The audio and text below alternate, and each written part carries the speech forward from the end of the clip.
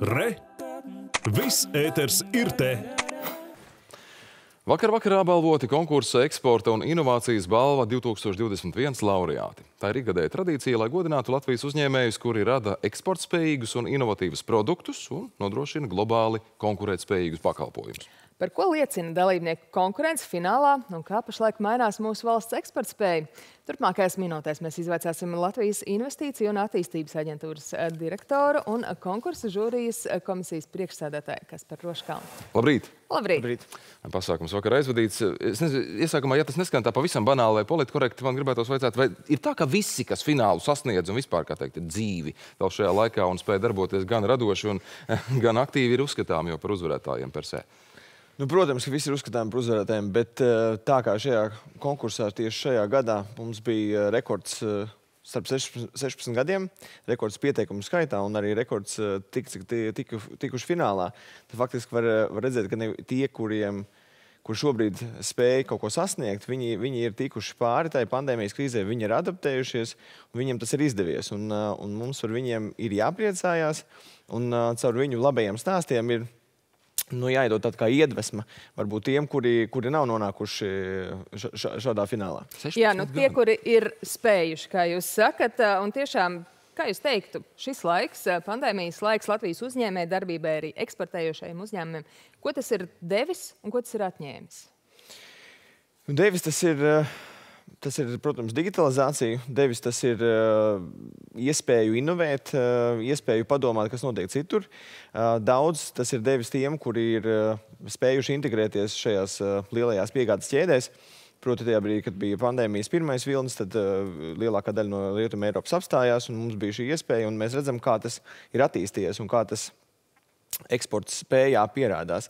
Kā vakardien viens no, viens no laureātiem teica, savā, savā uzrunā par to, ka eksportē, eksportējot uz Rietumu Eiropu vai eksportējot vispār jebkur pasaulē, tas ir tā kā uzvarēt Olimpiskajās spēlēs, jo, jo tu esi tur viens, cīnies ar vislabākajiem pasaulē, un ja, ja tev tas izdodas to sasniegt, tad tu var arī sev savai komandai uzsist uz pleca, kad uh, tu esi uz, uzvarējis Olimpiādē. Kā ir ar šiem mūsu, nu, teiksim tā, olimpiešiem, turpinot šo pašu līdzību, vai tā eksporta spēja un eksporta tirgus daudzveidība arī pat ir vēl kļūsi stiprāka kas rūdījusies par spīti grūtībām šajā laikā? Nu, protams, eh, tas, eh, kas mūs eh, nenogalina, tas padara mūs stiprākus. Tā rezultātā tas ir, ir skaidri redzams. Ir īpaši, ja mēs liekam kopā šos inovāciju komponenti, kas nozīmē radīt preces, pakalpojumus ar jaunu un ar lielāku pievienoto vērtību, lai tad būtu tā konkurētspējīgas priekšrocība pret citiem. Kas tad ir īpašs? Kāpēc tieši tas produkts, nevis tas, kas ir klasiski pierastais? Uh, un tas, tas, protams, ir tas, tas ir tas, kas ir viņiem, viņiem uzlabojies. Nu, tas, kas ir varbūt tās zudis, ir tas komforts.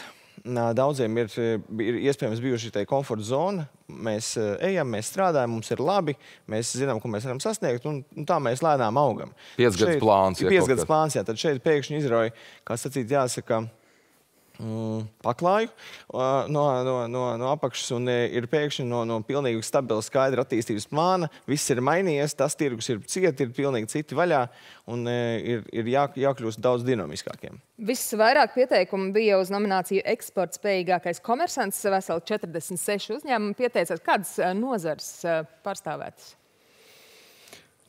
Tur ir ļoti daudz farmācija, viedās tehnoloģijas, eh, optiskās šķiedras, eh, tur tās, eh, tur Mēs, es, kad es atceros, kāda bija tā liste, tur bija pārtika, nu, tur bija viss, principā viss, eh, ko mēs varam iedomāties. Tur eh, kāds eh, viens vai divi vai trīs uzņēmumi to dara, un pie tam ne tikai to dara, bet, bet dara tā, ka viņš tie, tiek jau novērtēts. Ja, no, nominācijas bija četras.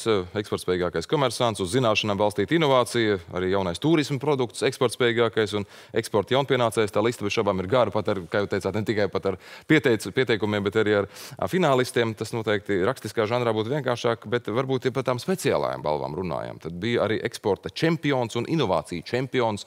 Varbūt eh, nu, nevelc šis vārds diezgan skaļš čempions. Tos varbūt varat iezīmēt. Jā. Kas tā nopelnīja? Uh, eksporta čempions ir, ir balva, ko pasniedz valsts prezidents, uh, un tā tika uzņēmuma karavela, pamatojoties uz to, ka klasisks mums zināms produkts, Tātad uh, zivju produkts konservos, it liekas, nu, kas tur tāds. Bet, uh, bet īstenībā tas, ka šajā laikā viņi spējuši pārorientēties no austrumu tirgus uz uh, tuvu pie 75% uz rietumu tirgu, tas, ka viņi ir spējuši izstrādāt vegānus produktus, vegānas zivis un no, no zirņiem radītus, tas, tas, ko jūs pirms tam runājat par kukaiņiem, patiesībā iespējams ir tuvāk nekā mēs domājam. Uh, un, un par uh, inovāciju čempionu tas ir, uh, ir ekonomikas ministra balva.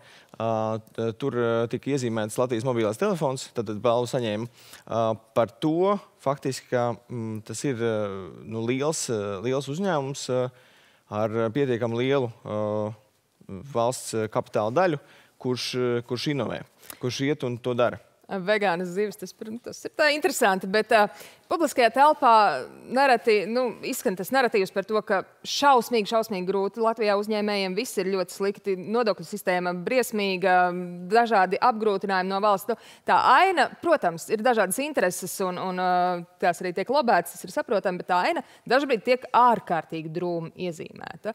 Uh, šobrīd, skatoties uz šo arī pasākumu par eksporta un inovāciju balvām, nu, tas tā kā ne, neiet kopā kopā? Jā, protams, eh, uzņēmējiem ir izaicinājumi. Mēs redzam, kas notiek ar elektroenerģiju. Tas noteikti būs eh, izaicinājums eh, tuvākajā periodā. It īpaši tiem, kuri, kuru ražošanas process ir ļoti energoietilpīgs. Tas pats ar cilvēku kapitālu. Tad mēs arī redzam, ka ja mums ir eh, nokritis bezdarbs, eh, tad, tad eh, uzņēmējiem ir, ir vajadzīgas tās iespējas vai nu digitalizēties, un tad palielināt raudas, jaudas bez cilvēku kapitāla palielināšanas, vai nu arī pārkvalificēt cilvēkus, lai, lai viņi spētu to šo te, nu, izaugsmi piepildīt. Un vēl viens jautājums eh, par eh, eksporta spējīgu tādu mm, pakalpojumu, kas gan paliek tepat uz vietas, bet nu, to piedāvājumu mēs eksportējam par turistiem. Par turismu nozari kā tādu, tur arī diezgan daudz pārdomu gan par iekšējo turismu, gan par ārvalstu turistu piesaisti. Ja par ārvalstniekiem runājam, tad bez šabām ir svarīgs tāds zināms magnēts vai mūsu vēstījums, piedāvājums. Kopš eh, Latvijas institūta likvidācijas Lijā tagad arī pārvalda šo jomu, kā mēs sevi prezentējam un piedāvājam pasaulē. Kas faktiski pašlaik ir tas mūsu magnēts ārvalstu turismam? Hmm. Uh, mēs uh, vien arī pirms tam un vēl joprojām uh, turismā pozicionējamies kā mm, zaļa un uh, inovatīva un uh, dinamiska valsts, kas, uh, kas, kas spēj piedāvāt uh, nu, tātad, apvienot gan uzņēmējdarbības teiksim, komponenti, kas ir mm, darījuma turisms, gan 20 minūšu attālumā atrodas uh, vairāki dabas parki. Un, uh, lidost atrodas tam visam par vi pa vidu un tādu teiksim, tādu unikalitāti, kur relatīvi īsā laikā ir iespēja uh, gan uh, rietumiem ar austrumiem satikties, gan arī izbaudīt tur uh, spā procedūras un to visu iespiest divās dienās, nepavadot lielāko daļu no laika automašīnā vai vilcienā vai iekšējos pārlidojumos, patiesībā nemaz nav tik daudz. Pavisam īsi Dubajā turpinās ekspo, tur ir Latvijas paviljons. Kāda interese? Nu, Latvijas paviljons jau ir, eh, jau ir sasniedzis 20,000 apmeklētāju. Tas bija novembra beigās, un, eh, un tas bija plānotais eh, kopējais apmeklētāju skaits sešos mēnešos. Tad faktiski divos mēnešos sasniegts tas, kas bija paredzēts sešos. Bet, bet pats būtiskākais ir nevis apmeklētāju skaits, bet pats būtiskākais ir šo noslēgto darījumu skaits. Un, un ekspo ietvaros mums jau ir 11 noslēgta sadarbības līgumi ar, un, un, ar tiešu eksportu. Nu, ko, tas ir labas ziņas. Tas, tas tiešām labi ziņas. Valsts vizītkartes aizvešana uz pasaules izstādi arī vainagojas jau diezgan īsā laikā ar konkrētiem sadarbības arī līgumiem un perspektīvām. Jā, nu, tur eh, atklāšanā droši vien jāuzsaka, ka gan uh, mūsu komandas kreativitāte, gan, protams, dziedātais Inters Busuls, kurš uh, bija pirmais, kas dziedāja ne tikai latviešu valodā, bet otru dziesmu dziedāja arābu valodā. Vismaz ekspo kontekstā viņš bija tas magnēts. viņš bija vien, viennozīmīgi, kas, kas pievērš uzmanību, ka ne tikai mēs stāstam par Latviju, bet mēs arī Emirātiem kaut ko uzdāvinām. Jā, un sociālais tīklos tiešām bija